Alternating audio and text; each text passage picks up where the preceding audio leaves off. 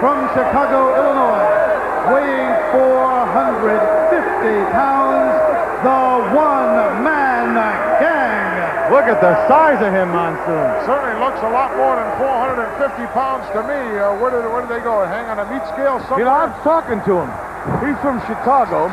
He's from the south side called Halsted Street, which is the baddest part of town, boy. One-man gang indeed. Take a look at that mohawk here. What's that? Some kind of a tattoo he's got on the side of his head there? He's got a tattoo on each side of his head. Skull and crossbones. Mario Mancini in deep trouble here this week. Awesome power when you put that, as they say, 450 pounds on a six foot seven or eight frame. It's just unbelievable. Very excited about his latest find here in the World Wrestling Federation. Let's go to the Slickster. You see why I'm so ecstatic, because here he is, the big 747, 450 pounds, the one-man gang, yeah. Well, Slick, as long as you got the cash coming, I'll be out there crippling people and hurting my people out there. You know where I'm going, to the top! What is that? Uh, crash, uh, cash for crash or what? You know what I like about him? He looks like he's a little bit, just a little bit off. He's not playing with a full deck? I don't think he even knows how to deal. I like it.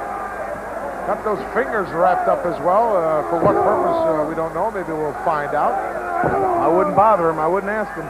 I'll ask him. What's he doing now? Uh-oh, look at this. The big 450-pounder climbing up. He's on the second rope on the inside. Second turnbuckle. Oh, drove Mancini down into the canvas, face first. Obviously very pleased with himself as well. Mancini right now looks like a pavement patty. Come on, Ralph, you gonna let him go up there and do that again or Sure. what? Mancini obviously half unconscious. One-man gang about to fly again. Elbow oh. drop right to the back, right in that subscapularis area.